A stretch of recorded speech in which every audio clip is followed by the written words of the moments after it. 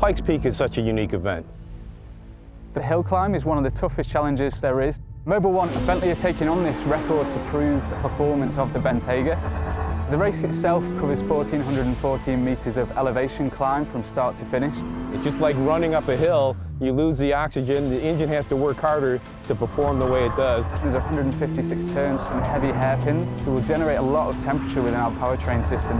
A lot of heat build up, so you've, you've got to rely on the lubricants to cool the engine. We're using the standard road car engine oil and transmission oil, which gives us a great durability and performance on the mountain.